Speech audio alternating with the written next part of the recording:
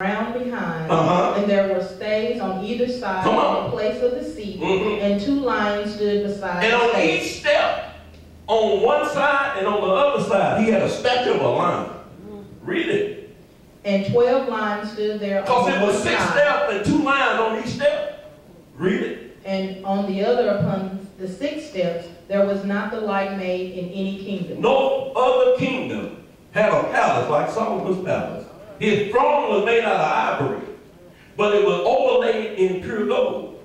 Six steps with 12 lions proceeding up to where he was sitting. The wisest man on the planet and the richest man on the planet. Read what the word said. And all King Solomon's drinking vessels were of gold, and all the vessels of the house of the forest of Lebanon were of pure gold. Now he wasn't drinking out of plastic bottle Wednesday night. Y'all better help. Read what it said. None were of silver. Uh-huh. It was nothing accounted of in the days of Solomon. Yeah, because silver didn't have a value. Watch what the word says. For the king had at sea a navy of Tar- Tarshish, Mhm. the navy of Hiram. Once in three years came the navy of Tarshish. And his navy was so powerful, nobody ever counted it. And his navy only showed up every three years. Read what it said. and silver, ivory, and apes, and peacocks. Read it. So King Solomon exceeded all the kings of the earth for riches and for wisdom. Read it. And all the earth sought to Solomon to hear his wisdom, which God had put in his heart. Can you see what I'm showing you today? Here's a man that had the wealth of the world coming to him every year. We're going to see a little bit more in just a second. He had he had it all out on display. He didn't trust in any of it.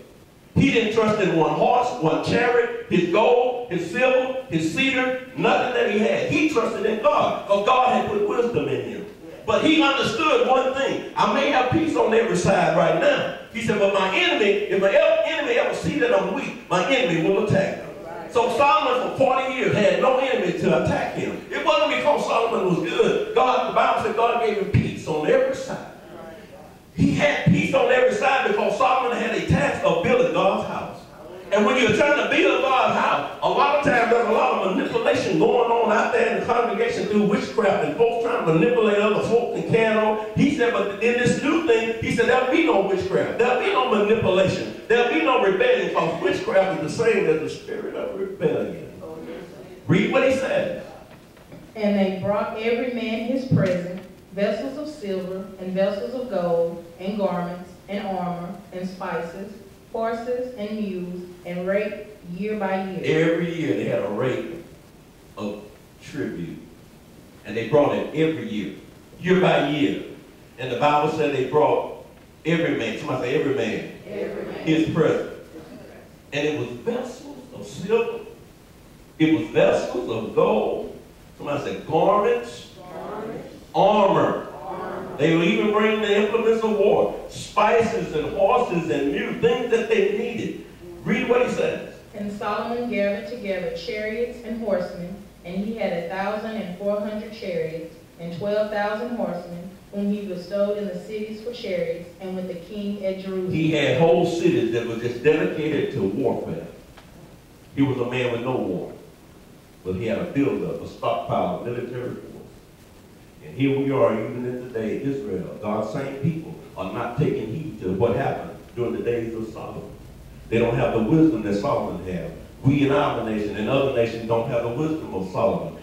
When it's peacetime, you always prepare for war. You can't prepare for war when you're in war.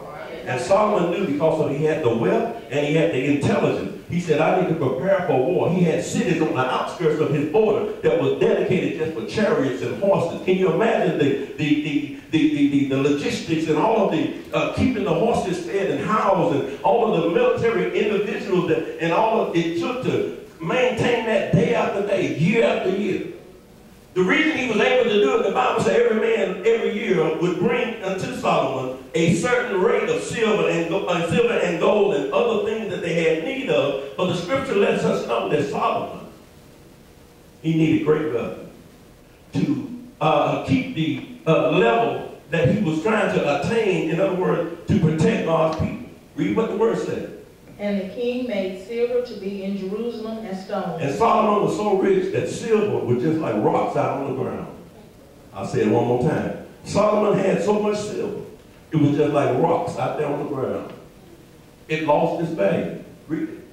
And cedars made he to be as the sycamore tree. And the best of wood that the bugs and weather couldn't deteriorate, the best wood that they built with, it became like the sycamore, it became like the sweet gum, it became like a common tree. It was, he had it in such a plenty, it, it became valueless. Read it. Therein the vale for Mhm. abundance. Read it. And Solomon had horses brought out of Egypt, Come on. and linen yarn. The king's merchant received the linen yarn at a price. Now watch this. Solomon in his wisdom, he's buying now these same things. These, uh, he- he's buying the horses and the chariot, and he's buying other things out of Egypt, but he's buying it at a set price. And read what it says. And a chariot came up and went out of Egypt for six hundred shekels of silver, Watch this. Read it. and an horse for an hundred and fifty. Mhm. And so for all the kings of the Hittites and for the kings of Syria did they bring them out by their name. Y'all need to get this. What did he just tell us in this word? He just said right now in the 29th verse, the chariots came up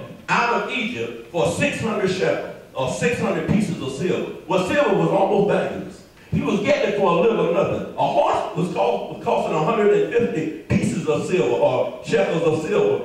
But a, a silver was almost uh, a value, so he was getting it for a little nothing. And then when he got it for a little nothing, he was selling it to the kings of the Hittites. He was selling it to the kings of Syria. He was selling it, and the Bible said, and they did bring them out by what? Their means. By their money. Means by their means, their money, they were able to buy these things. Now watch this. When Solomon was selling to the Hittites, he was selling to his enemy. Mm-hmm. When he was selling to the Syrians, he was selling to his enemy. Mm-hmm. He had done all of this to show his power. He had done all of this to display his wealth, sitting up on his throne of ivory, covered in gold. He had no fear of no man because he was trusting in God, not into his military might, but he continued to build a military might. You got to understand something. When God has placed you in a position of authority, you're going to have to show forth your authority. We're going to begin to walk in authority. We cannot walk in some kind of uh, uh, uh, law uh, with our head down, uh, like we don't know uh, what to do and how to lead folks. See, you don't lead folks by getting in behind folks, fussing at folks, and telling folks, uh, de- demeaning folks, and trying to make them feel bad because they're not doing this and doing. You you you lead people by feeding them, and you tell them to trust in God.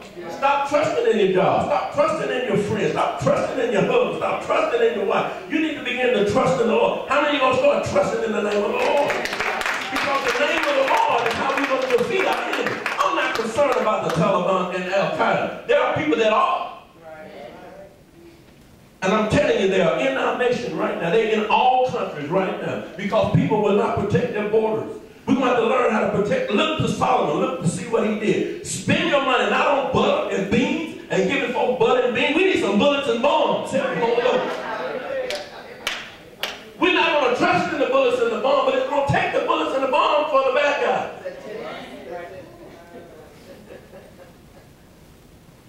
I wish that every Christian would stand up and tell the devil no. They're trying to cause, and I heard it on the news just yesterday, they're trying to get, uh, especially through the Catholic Church, they're trying to get them to talk up this environment thing. And I said, listen, y'all, y'all talk about that out there. We're going to talk about Jesus and him.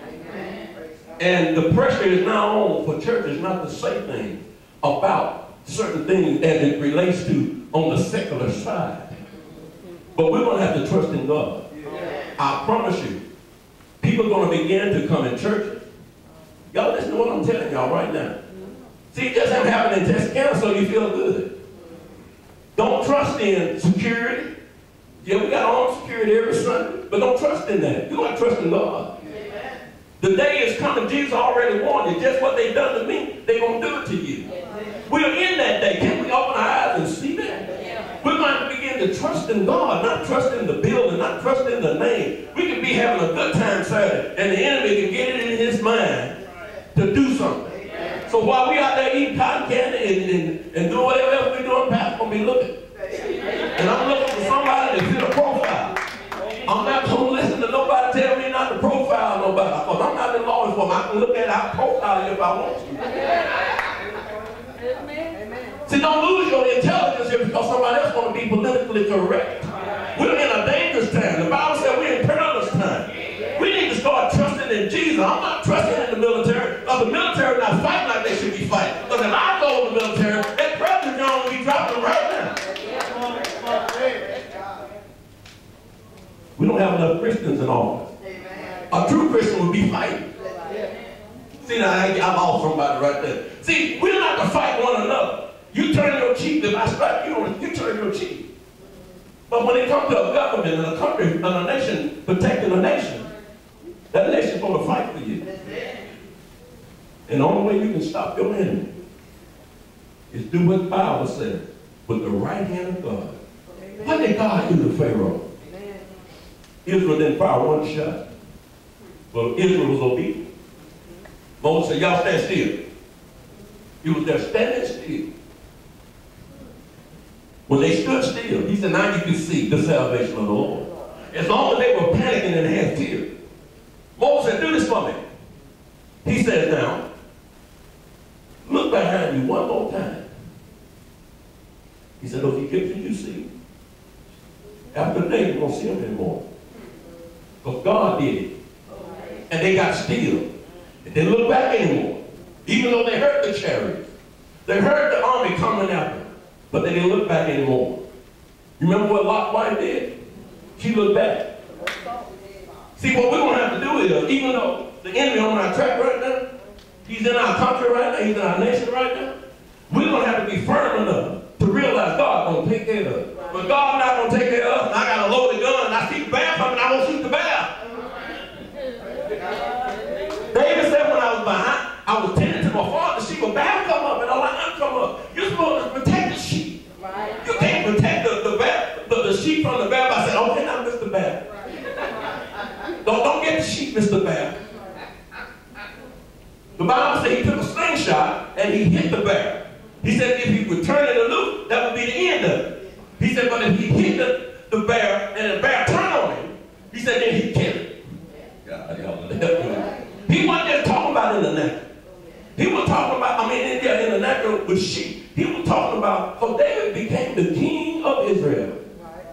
And the Bible says he was a man of war. Somebody say a man of war. man of war. But he was a musician. He was a man of war, but he was a musician. He wrote a lot of songs. He defeated a lot of devils. You read the Psalms, he defeated a lot of spiritual demons through music.